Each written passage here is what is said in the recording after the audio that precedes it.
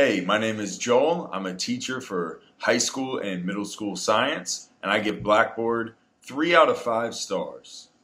You can click below for more reviews like these.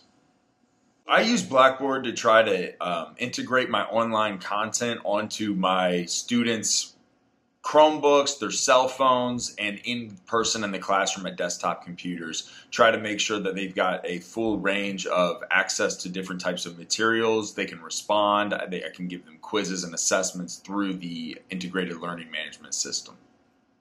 Blackboard has some really cool features, and I think it allows a really good job of being able to pull in video and put in your own content, pictures, video, links to other websites, as well as allow students to respond with those same types of content.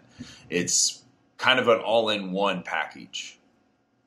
Unfortunately, with all that different type of material and content that you can use with Blackboard, it's a little wonky. It's kind of hard to find where certain things are and where they go. And as a teacher, I spend some of my time teaching my students how to use Blackboard rather than the content itself.